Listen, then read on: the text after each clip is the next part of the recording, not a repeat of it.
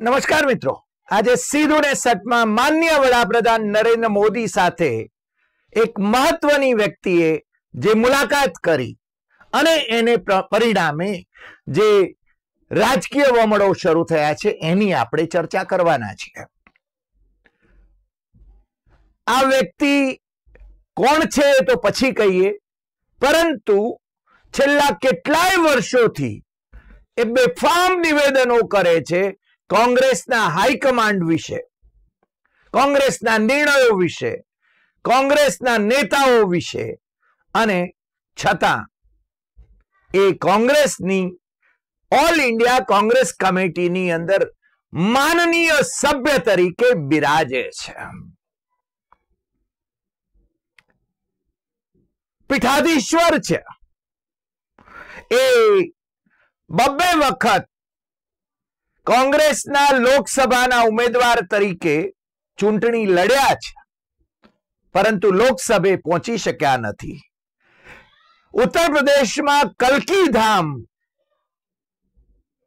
એના એ પીઠાધીશ્વર છે.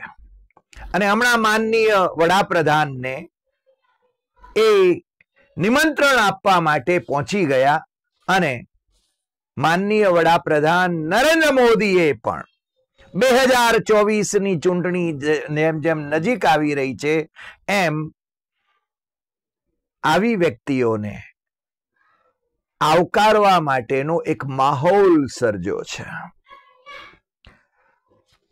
આ વ્યક્તિ દસ જનપથની ખૂબ નજીક ગણાય છે. કોંગ્રેસના મહાસચિવ પ્રિયંકા ગાંધી વાડ્રા એમની સાથેની એમની નિકટતા એ બહુ જાણીતી છે. અને ચાર જાન્યુઆરી ઓગણીસો પાસઠ ઉત્તર પ્રદેશમાં સંભલ ગાંવ એન્ચોડા કંબો ના બ્રાહ્મણ પરિવારમાં એ જન્મેલી વ્યક્તિ એ એમને આજે કાઢી મૂકવામાં આવ્યા એવા સમાચાર વાયરલ થયા. કોંગ્રેસમાંથી કાઢી મૂકવામાં આવેલા આવ્યા એવા સમાચાર વાયરલ થયા ગઈકાલે. એટલે કે પહેલી ફેબ્રુઆરીએ. પરંતુ ફેક્ટ ચેક કરવામાં આવે છે તો એમને કોઈ રીતે કાઢી મૂકવામાં નથી આવ્યા. અને આમે કોંગ્રેસ માટે તો એટલું કહી શકાય કે અબ પછતાએ હોત ક્યાં જબ ચીડિયા ચૂક ગઈ ખેત. ગુજરાતમાં જે રીતે કોંગ્રેસના મંચસ્થ નેતાઓ, ધારાસભ્યો ભારતીય જનતા પાર્ટીમાં જોડાઈ રહ્યા છે અને મહત્વના પદ મેળવી રહ્યા છે, એ જ રીતે દેશમાં પણ ખેલ ચાલી રહ્યો છે. ગુજરાતમાં તો એ નવું નથી, પણ કોંગ્રેસ એની પરંપરા જાળવે છે. રોહન ગુપ્તા, રોહન રાજકુમાર ગુપ્તા, ક્યારેક રાજકુમાર ગુપ્તા એ નવનિર્માણ આંદોલનના અમારા નેતાઓમાંના એક હતા. પણ એકમાત્ર મનીષી જાની સિવાયના બાકીના નેતાઓ એ ક્યાં ગયા? એનો પ્રશ્ન પણ અમને ઉઠે છે. અને મોટા ભાગના નેતાઓ જ્યારે આંદોલન હજુ તો ચાલુ હતું ત્યારથી કોંગ્રેસમાં પ્રવેશ કરવા માંડેલા. એ વખતે સત્તા પક્ષમાં કોંગ્રેસ હતી. અને આજે એ કોંગ્રેસમાંથી ભારતીય જનતા પાર્ટી સાથે ઇલુ ઇલુ કરી રહ્યા છે.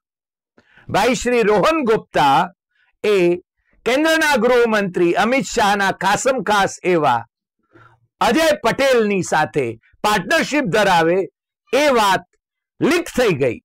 દસ્તાવેજી રીતે લીક થઈ ગઈ અને જ્યારે અશોક વાનખડે હિન્દીમાં એક આખો એપિસોડ કર્યો ત્યારે એમને ત્યાંથી સોશિયલ મીડિયાના એ ચેરમેન હતા કોંગ્રેસના ભારતીય જનતા પાર્ટીનો એક પાર્ટનર, એ કોંગ્રેસનો સોશિયલ મીડિયાનો ચેરમેન હોય. પછી તો જોઈએ શું. એમને એ હોદ્દેથી દૂર કર્યા. સુપ્રિયા શ્રીનેતને મૂક્યા અને સુપ્રિયા શ્રીનેતે રાહુલ ગાંધીની જે પદયાત્રા કન્યાકુમારીથી કાશ્મીર સુધીની જે પદયાત્રા રહી, એમાં સોશિયલ મીડિયાનું અને એમના પ્રવક્તા તરીકેનું જે કામ કર્યું, એ કાબિલે છે. રોહનભાઈ એમને પક્ષમાંથી દૂર ન કરવામાં આવ્યા. અશોક વાનખડે તો ઘણું બધું રિસર્ચ કરીને એમના વિશે વિસ્ફોટક વિગતો જાહેર કરેલી, છતાં કોંગ્રેસ જેનું નામ દરિયાવ દિલી જેની જેને આત્મઘાતી થવામાં બહુ રસ પડે એવું, એણે એમને રાષ્ટ્રીય પ્રવક્તા બનાવી દીધા. અને હમણાં હમણાં છેલ્લે છેલ્લે સમાચાર મળે છે કે આ ભાઈ શ્રી રોહન રાજકુમાર ગુપ્તાને કોંગ્રેસ, ગુજરાત કોંગ્રેસમાં જે હમણાં નવા નવા અધ્યક્ષ આવ્યા છે, શક્તિસિંહ ગોહિલ, કોંગ્રેસ ને તાળા મારવાના જ હવે તો બાકી રહ્યા છે, કારણ કે જગદીશ ઠાકોર અધ્યક્ષ તરીકે સિત્તોતેર બેઠકોથી જે કોંગ્રેસ જીતેલી હતી એને સત્તર પર લાવીને મૂકી ગયા છે. હવે શક્તિસિંહ પોતે તો ચૂંટણી જીતી શકતા નથી, પોતાના જિલ્લામાં કોઈને જીતાડી શકતા નથી. એ છે ને ગુજરાતની અંદર કોંગ્રેસનું નામું નંખાઈ જાય એવી સ્થિતિમાં એને લઈ જાય તો અમને બહુ આશ્ચર્ય નહીં થાય. કારણ કે રાજ્યસભામાં બેઠા છે રાજ્યસભામાં એમની મુદત પૂરી થાય એટલે પછી એમને કોઈ રાજ્યસભે મોકલવાનું નથી. વાંક ભારતીય જનતા પાર્ટીનો નથી. ભારતીય જનતા પાર્ટીના પ્રવક્તાઓ, નેતાઓ એમની વાત સાથે હું સંમત કે કોઈ અમારે ત્યાં આવે તો અમે એને કાઢી કેમ મૂકીએ? એને અમા, નરેન્દ્ર મોદીજીની વિકાસની રાજનીતિમાં સામેલ થવું છે. તો અમે ના કા પાડીએ? સત્તા સાથે સંધાણ એ અનેક રીતે લાભાન્વિત કરે છે. એ આપણે બધા સમજી શકીએ છીએ, હવે બાળકો પણ સમજી શકે છે. કોંગ્રેસ પોતાની રીતે તૂટે છે. રાહુલ ગાંધી એકલવીરની જેમ સંઘર્ષ કરે છે. અને મેં તમને કહ્યું એમ કે પેલા ભાઈ જે માન્ય વડાપ્રધાનને નિમંત્રણ આપવા માટે જાય છે. એવા ભાઈઓ, એવી બહેનો એ કોંગ્રેસનું નામું નાખી દેવતા નિવેદનો કરીને પછી કોંગ્રેસે અમને અન્યાય કર્યો. આ જે ભાઈશ્રી છે, પીઠાધીશ્વર, એમને બબ્બે વખત કોંગ્રેસે છે લોકસભાની ટિકિટ આપી, પણ એ જીતી શક્યા નહીં. બે હજાર ચૌદમાં પણ એમને સંભલથી ટિકિટ આપી હતી. બે હજાર ઓગણીસમાં એમને લખનૌથી ટિકિટ આપી હતી કોંગ્રેસે.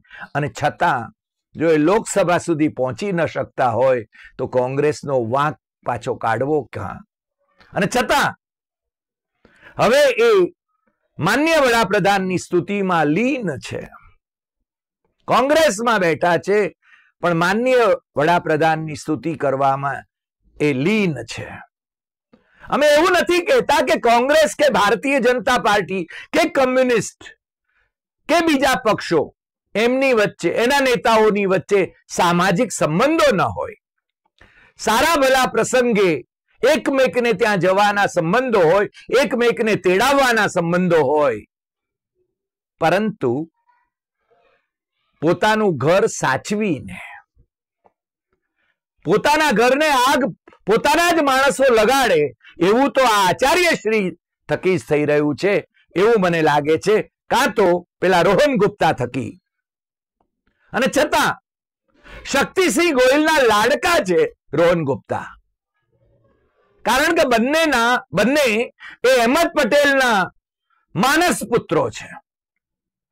અને અહેમદ પટેલે ગુજરાતમાં કોંગ્રેસનું કરી નાખ્યું એવું કહેવામાં જરાય અતિશોક્તિ નથી, કારણ કે અહેમદ પટેલ અને નરેન્દ્ર મોદી વચ્ચેનું ઈલું ઈલું એ ગુજરાતમાં તો કોંગ્રેસને ખતમ કરી બેઠું, બેઠી કરીને મૂકી ગયા અને રાષ્ટ્રીય સ્તરે પણ એ જ સ્થિતિ સર્જી ગયા. કોણ ના પાડી શકે એમ છે? બીજા કેટલાક હજુ તો સૌરાષ્ટ્રના ધારાસભ્યો ભારતીય જનતા પાર્ટી તરફ જઈ રહ્યા છે. અમે જ્યારે જ્યારે પૂછીએ છીએ ત્યારે કે ના ના, આ નવું પડીકું આવ્યું છે. આ નવું પડીકું. કારણ કે અમે એવું માનીએ છીએ કે અમે જે કહીએ એ વાત સાચી હોવી જોઈએ, ટકોરાબંધ હોવી જોઈએ.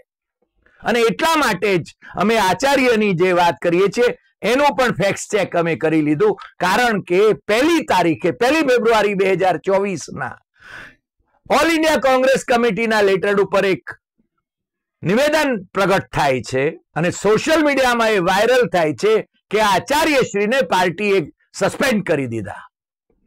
તારીખ એમાં છે ને બે ફેબ્રુઆરી છે. પહેલી તારીખે સ્ટેટમેન્ટ વાયરલ થાય છે. એના ઉપર મૂકવામાં આવ્યું છે બે ફેબ્રુઆરી એની તારીખ લખવામાં આવી છે. એનો અર્થ એ થયો કે આ ફેક છે. અને કોંગ્રેસ એમને કાઢી મૂકે એની કદાચ રાહ જુએ છે. એ આચાર્યશ્રીનું નામ છે આચાર્ય આચાર્ય પ્રમોદ કૃષ્ણમ. આચાર્ય પ્રમોદ કૃષ્ણમ. એઆઈસીસી ના ડેલિગેટ છે. માન્ય વડાપ્રધાનને પોતાના કલકીધામ એના શિલાન્યાસ સમારોહમાં આમંત્રિત કરવા માટે જાય તો હું એમાં કશું જ ખોટું જોતો નથી. અયોધ્યામાં રામ મંદિરની પ્રાણ પ્રતિષ્ઠા થતી હોય ત્યારે એ કોંગ્રેસની નીતિ અથવા કોંગ્રેસને મળેલા બે જણાને મળેલા નિમંત્રણ એટલે કે શ્રીમતી સોનિયા ગાંધીને અને મલ્લિકાર્જુન ખડગેને એ અસ્વીકાર કરે ત્યારે એનો વિરોધ એ કરે અને ભગવાન શ્રી રામ ના શિલાન્યાસ એની પ્રાણ પ્રતિષ્ઠામાં જવું જોઈએ એવું કે, તો એમાં મને કશું ખોટું નથી લાગતું. કોંગ્રેસે એમાં ભાગ લેવો જોઈએ કારણ કે રામ મંદિર અયોધ્યામાં થાય, એને માટે કોંગ્રેસે જ મુકરાશ કરી આપેલી છે અગાઉથી. એ વાત આપણે ભૂલવી ન જોઈએ. નરેન્દ્ર મોદીએ તો વર્તમાન મંદિર હજુ અધૂરું છે, એમાં પ્રાણ પ્રતિષ્ઠા કરી, પરંતુ એ સુપ્રીમ કોર્ટના જજમેન્ટથી કરી હતી. અગાઉની કોંગ્રેસની સરકાર, નરસિંહ રાવની કોંગ્રેસની સરકાર કે પછી રાજીવ ગાંધીની કોંગ્રેસની સરકારે આ મંદિર નિર્માણ થાય એને માટે, હિન્દુઓની ભાવના સચવાય એને માટે પ્રયાસો કર્યા નથી, એવું એ નથી. પરંતુ આચાર્ય પ્રમોદ કૃષ્ણન, કૃષ્ણમ એ એમની પાર્ટીની અંદર આ વાત મૂકવાની જરૂર છે. એ ટ્વિટર ઉપર વાત મૂકે છે, ઇન્ટરવ્યુ આપે છે. માનનીય વડાપ્રધાનના વખાણ કરે તો એમાં કશું જ ખોટું નથી મારી દ્રષ્ટિએ. પરંતુ એમણે એમની પાર્ટીને એક મુદ્દાની વાત લઈને પાર્ટીના મંચ પર એ વાતો કરવી જોઈએ. વડાપ્રધાન વડાપ્રધાન, આ દેશની એકસો ને ચાલીસ કરોડની જનતાના વડાપ્રધાન છે. વડાપ્રધાન એ માત્ર ભારતીય જનતા પાર્ટીના પ્રચાર મંત્રી નથી. આ વાત આપણે સમજી લેવી જોઈએ. અને એટલે જ કહું છું કે જે વાતો પાર્ટીના મંચ ઉપર થવી જોઈએ અને મીડિયામાં ન થવી જોઈએ એ કોંગ્રેસના લોકો એ જાહેરમાં મીડિયામાં ટ્વિટર ઉપર પ્રેસ કોન્ફરન્સ કરીને એના ઇન્ટરવ્યુ આપીને એ કરે છે ને, એમાં આચાર્ય પ્રમોદ કૃષ્ણમ એ મોખરે હોય છે.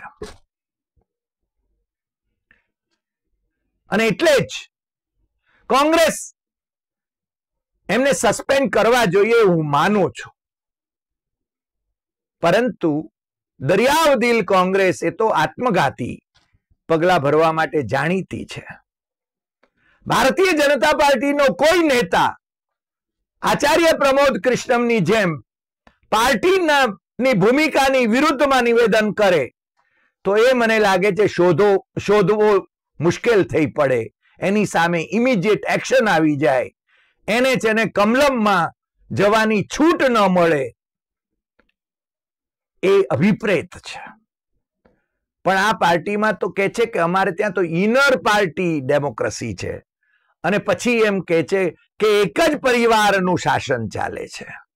મને લાગે છે એક જ પરિવારનું શાસન ચાલતું હોય તો પાર્ટી આટલા બધા સમય સુધી સત્તામાં ન રહી શકે. અને આજે પણ એ કેટલાક રાજ્યોની અંદર સત્તા ભોગવે છે. માત્ર અંધભક્તો જ એ માત્ર એક પરિવારની વાત કરી શકે. પ્રેમકુમાર ધુમલના પરિવારની કેમ વાત નથી થતી? ભારતીય જનતા પાર્ટી કે એક જ પરિવાર છે? હિમાચલ પ્રદેશનો કે જ્યાં બધું જ મુખ્યમંત્રી પદ પણ ત્યાં, કેન્દ્રીય મંત્રી પદ પણ ત્યાં, ક્રિકેટ બોર્ડમાં પણ ત્યાં, આ બધું ત્યાં હોય પણ એ ત્યાં એક પરિવારની વાત નહીં આવે. ગુજરાતમાં તો મેં એક વખત આવા પચીસ પરિવારોની વાત કરી હતી. પરિવારવાદ એ માત્ર કોંગ્રેસમાં નથી, પરિવારવાદ એ બધે જ છે. ભારતીય જનતા પાર્ટીમાં તો ફાટ ફાટ થઈ રહ્યો છે અને બીજી પાર્ટીઓમાં પણ છે. ડોક્ટરનો છોકરો ડોક્ટર થાય તો એની સામે કોઈને વાંધો નથી. વકીલનો દીકરો વકીલ થાય તો એની સામે કોઈને વાંધો નથી. પણ રાજનેતાનો દીકરો રાજનેતા થાય તો એ પરિવારવાદ. પણ એને માટે પરિવારવાદ ત્યારે જ કહેવાય જો એ કોંગ્રેસનો નેહરુ ગાંધી પરિવાર હોય. વિશ્વમન કરવાની આખી એક પરંપરા ચાલી છે. અને એટલે જ એની અંદર જે ઉમેરણ કરે છે, એ આવા આચાર્ય પ્રમોદ કૃષ્ણમ જેવા કે રોહન ગુપ્તા જેવા છે. અને એટલે જ કહું છું કે આ આચાર્ય પ્રમોદ કૃષ્ણમે ઉદયપુરમાં જ્યારે એઆઈસીસી ની બેઠક મળી ત્યારે એમણે કહ્યું હતું કે સચિન પાયલટને મુખ્યમંત્રી બનાવવા જોઈએ. પાર્ટીનું સ્ટેન્ડ અશોક ગેહલોતનું હતું. છતાં એ એમણે ઇનર પાર્ટી ડેમોક્રેસી ના ઇન્ટરવ્યુ આપવા માંડ્યા હતા. પાર્ટીએ એકવાર નિર્ણય કર્યો કે અશોક ગેહલોતને આપણે મુખ્યમંત્રી તરીકે ચાલુ રાખવા છે, તો પછી સચિન પાયલટની વકીલાત એમણે કરવાની ક્યાં જરૂર હતી?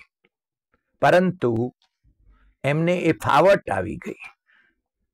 માન્ય વડાપ્રધાનને નિમંત્રણ આપવા માટે ગયા એટલા માત્રથી એમને કાઢી મૂકવા જોઈએ એવું નથી માનતો. પણ એમનો આખો ટ્રેક રેકોર્ડ એવો છે કે પાર્ટીની ડિસિપ્લિનને સતત તોડતા રહ્યા છે. પણ કોંગ્રેસની પરંપરા એવી રહી છે કે આવા લોકોને એ પોતે કાઢી નથી મૂકતી અને નુકસાન વોરે છે. મણિશંકર અય્યરનો દાખલો આપણી સામે છે. હવે તો મણિશંકર અય્યરના દીકરીનો દાખલો પણ આવ્યો છે. અને એમણે ખુલાસાઓ કરવા માંડ્યા છે. રામ મંદિરની વિરુદ્ધમાં એમણે ઉપવાસ કર્યા એમની દીકરીએ અને એમણે કહ્યું કે હું તો ત્યાં નથી રહેતો. આવા નેતાઓ જે પાર્ટીને નુકસાન પહોંચાડી રહ્યા છે, કાં તો પાર્ટી એમને ડિસિપ્લિન કરે. ભારતીય જનતા પાર્ટીમાં કોઈની તાકાત નથી કે પોતાનો સ્વતંત્ર વિચાર એ જાહેરમાં મૂકી શકે. કોંગ્રેસમાં તો ઇનર ડેમોક્રેસી છે. અને ઇનર ડેમોક્રેસી એ ઇનડિસિપ્લિન સુધી જાય છે. અને એના પછી પણ એના નેતાઓને, આ શિસ્તભંગ કરનારાઓને હોદ્દાઓ મળે છે. નવા નવા હોદ્દાઓ સોશિયલ મીડિયાના ચેરમેન તરીકે દૂર કરવામાં આવ્યા તો નેશનલ પ્રવક્તા તરીકે મૂકવામાં આવ્યા અને બાકી રહેતું હતું તો શક્તિસિંહ ગોહિલે. વોર રૂમની અંદર એમને ડ્યુટી આપી. જ્યાં સ્ટ્રેટેજી થાય, ત્યાં આવા લોકોને મૂકવામાં આવે છે. પછી તો ભગવાન કોંગ્રેસનું ભલું કરે. આ એ જ કોંગ્રેસ જેને શાસન કર્યું. છ સાત દાયકા. આ એ જ કોંગ્રેસ જેના ફળ ખાઈને આ કોંગ્રેસીઓ અત્યારે છે ને એની બદબોઈ કરી રહ્યા છે. લાજ શરમ નથી. લાજ શરમ નથી.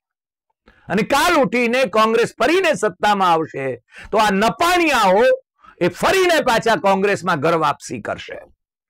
નરેન્દ્ર મોદીને આ ખ્યાલ હોવો જોઈએ. અને ખ્યાલ હશે જ, કારણ કે નરેન્દ્ર મોદી એ એન્ટાયર પોલિટિકલ સાયન્સ ના વિદ્યાર્થી રહ્યા છે.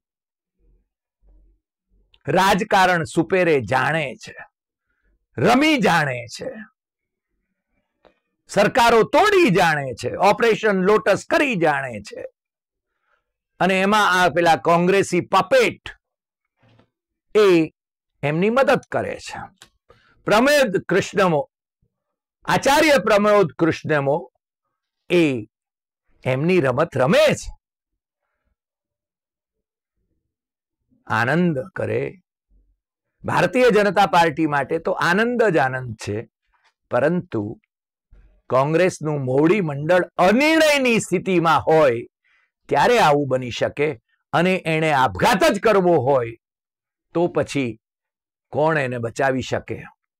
એક બંકો પેલો જેલવાસ ભોગવે છે હેમંત સોરેન.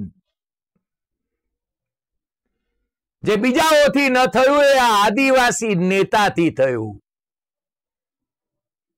ઝૂક્યો નહીં. જેલવાસ ભોગવ્યો. અને બાકીના મહેલવાસ ભોગવવા માટે સત્તા પક્ષ સાથે સમાધાનો કરી રહ્યા છે. અને એમના એમના ઘૂઘરે રમી રહ્યા છે. આચાર્ય કૃષ્ણમ પણ એમના ઘૂઘરે રમવા માટે સજ્જ થઈ રહ્યા છે. અને જ્યારે ભારતીય જનતા પાર્ટીમાં એ જશે, ત્યારે કોંગ્રેસ વાળાઓ એક નિવેદન પાર પાડશે ઓલ ઇન્ડિયા કોંગ્રેસ કમિટીમાંથી કે અમે એમને પક્ષમાંથી બરતરફ કર્યા છે. અબ પછતાએ હોત ક્યા, જબ ચીડિયા ચૂક ગઈ ખેત. આજે આટલી વાત. ફરી મળીશું નવા એપિસોડમાં, નવા વિષય સાથે.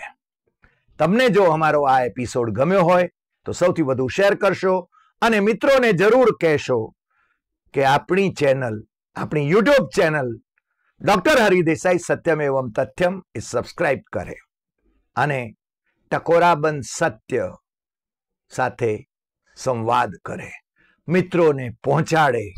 નમસ્કાર.